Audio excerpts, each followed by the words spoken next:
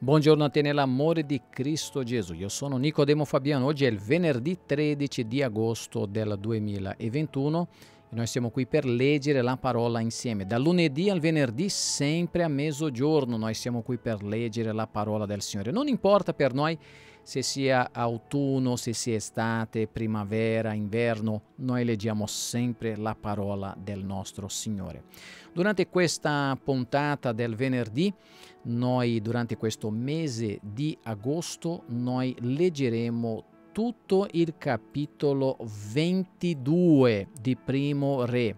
Questo che tra l'altro in questo venerdì noi stiamo a concludere la lettura del libro di Primo Re.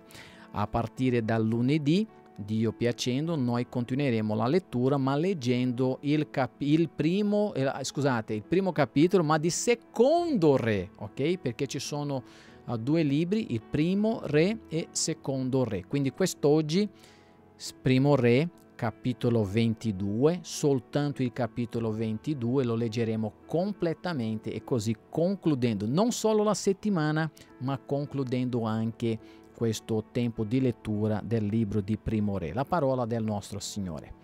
Passarono tre anni senza guerra tra la Siria e Israele. Nel terzo anno Giosafat, re di Giuda, scese a trovare il re di Israele.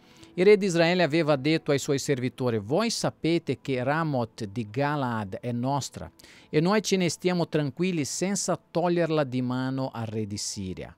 E disse a Giosafat, Vuoi venire con me alla guerra contro Ramoth di Galaad? Giosafat rispose al re di Israele, conta su di me come su te stesso, sulla mia gente, come sulla tua gente, sui miei cavalli, come i suoi cavalli. Poi Giosafat disse al re di Israele, ti prego, consulta oggi, oggi, la parola del Signore. Allora il re di Israele radunò i profeti in numero di circa 400 e disse loro, devo andare a far guerra a Ramoth di Galad o no? Quelli risposero, va, e il Signore la darà nelle mani del re. Ma Giosafat disse, non c'è qui nessun altro profeta del Signore da poter consultare? Il re di Israele rispose a Giosafat, c'è ancora un uomo per mezzo del quale si potrebbe consultare il Signore, ma io lo odio, perché non mi predice mai nulla di buono, ma soltanto del male. È Micaia, figlio di Ilma, Imla. E Giosafat disse, non dica così il re. Allora il re di Israele chiamò un eunuco e gli disse, fa subito venire Micaia, figlio di Imla. Il re di Israele e Giosafà, re di Giuda, sedevano ciascuno sul suo trono, vestiti dei loro abiti regali nell'aia che è all'ingresso della porta di Samaria, e tutti i profeti profetizzavano davanti a loro. Sedechia, figlio di Kenaan, si era fatto delle corna di ferro e disse, così dice il Signore, con queste corna colpirai i siri finché tu li abbia completamente distrutti. Tutti i profeti profetizzavano nello stesso modo, dicendo, va contro Ramoth di Galad e vincerai, il Signore darà nelle mani del re. Il messaggero che era andato a chiamare Micaia gli parlò così, ecco tutti i profeti unanimi predicono del bene al re. Ti prego, le tue parole siano concordi con le loro e predici del bene. Ma Micaia rispose, ma come è vero che il Signore vive, io dirò quel che il Signore mi dirà. Quando giunse davanti al re, il re gli disse, Micaia, dobbiamo andare a far guerra a Ramoth di Galad o no? E gli rispose, va pure, tu vincerai, il, tu vincerai, il Signore la darà nelle mani del re. Il re gli disse, quante volte dovrò scongiurarti di non dirmi altro che la verità nel nome del Signore? Micaia rispose, ho visto tutto Israele disperso su per i monti, come pecore che non hanno pastore. E il Signore ha detto, questa gente non ha padrone, ciascuno ritorna in pace a casa sua. Il re di Israele disse a Giosafat, non te l'avevo detto che costui non mi avrebbe predetto nulla di buono, ma soltanto del male? Micaia replicò, perciò ascolta la parola del Signore. Io ho visto il Signore seduto sul suo trono e tutto l'esercito del cielo che, che stava a destra e a sinistra. Il Signore disse, chi ingannerà Acab affinché vada contro Ramot di Galad e vi perisca? Ci fu chi rispose in un modo e chi in un altro. Allora si fece davanti uno spirito, si fece uno, uno spirito, il quale si presentò davanti al Signore e disse, lo ingannerò io. Il Signore gli disse, e come? Quello rispose, uscir io uscirò e sarò spirito di menzogna in bocca di tutti i suoi profeti. Il Signore gli disse, sì, riuscirai a ingannarlo, esce e fa così. E ora ecco il Signore ha messo uno spirito di menzogna in bocca di, a tutti questi tuoi profeti, ma il Signore ha pronunziato del male contro di te. Allora Sedechia, figlio di Kenaanna, si accostò, diede uno schiaffo a Micaia e disse, per dove è passato lo Spirito del Signore quando è uscito da me per parlare a te?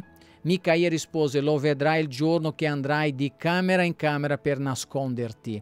Il re di Israele disse, prendi Micaia, portalo da Ammon, governatore della città, e da Ioas, figlio del re, e di loro. Così dice il re. Richiunde, richiundete, rinchiudete costui in prigione, mettetelo a pane e acqua finché io torni sano e salvo. Micaia disse, se tu torni sano e salvo, non sarà il Signore che avrà parlato per bocca mia. E aggiunse, udite questo popoli tutti. I re di Israele e Giosafat, re di Giuda, marciarono dunque contro Ramot di Galad. Il re di Israele disse a Giosafat, io mi travestirò per andare in battaglia, ma tu mettiti i tuoi abiti regali e il re di Israele si travestì e andò in battaglia. Il re di Siria aveva dato quest'ordine ai 32 capitani dei suoi carri, non combattete contro nessuno, piccolo o grande, ma soltanto contro il re di Israele. Quando i capitani dei, dei carri scorsero Giosafati, dissero certo quello è il re di Israele e si dissero contro di lui per attaccarlo. Ma Giosafà mandò un grido. Allora i capitani si accorsero che egli non era il re di Israele e cessarono di assalirlo. Ma un uomo scoccò a caso la freccia del suo arco e ferì il re di Israele tra la corazza e le falde. Perciò il re disse al suo cocchiere, svolta, portami fuori dal campo perché sono ferito. Ma la battaglia fu così accanita quel giorno che il re fu trattenuto sul suo carro di fronte ai siri e morì verso sera. Il sangue della sua ferita era colato nel fondo del carro. Mentre il sole tramontava, un grido corse per tutto il campo, ognuno alla sua città, ognuno al suo paese. Così il re morì e fu portato a Samaria e in Samaria fu sepolto. Quando si lavò il carro presso lo stagno di Samaria e in quell'acqua si lavavano le prostitute, i cani si leccarono il sangue di Acab secondo la parola che il Signore aveva pronunziato il resto delle azioni di Acab, tutto quello che fece, la casa di Avorio che costruì e tutte le città che edificò, tutto quello che sta scritto nel libro delle cronache del re di Israele. Così Acab si addormentò con i suoi padri e Acazia, suo figlio, regnò al suo posto. Giosafat, figlio di Asa, cominciò a regnare sopra Giuda il quarto anno di Acab, re di Israele. Giosafat aveva 35 anni quando cominciò a regnare e regnò 25 anni a Gerusalemme. Il nome di sua madre era Azuba, figlia di Sili. Egli imitò in ogni cosa la condotta di Asa, suo padre, e non se ne allontanò, fece quel che è giusto agli occhi del Signore. Tuttavia, gli alti luoghi non scomparvero e il popolo offriva ancora sacrifici e profumi sugli alti luoghi. Giosafat visse in pace con il re di Israele.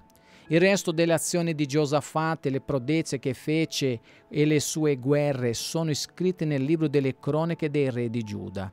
Egli fece sparire dal paese gli ultimi uomini che si prostituivano e che, è, che, erano rimasti dal tempo di Asa, suo padre. A quel tempo non c'era re ad Edom, un perfetto fungeva da re. Giosafate costruì delle navi di Tarsis per andare a Ofir in cerca d'oro, ma poi non andò perché le navi naufragarono a Esion Geber.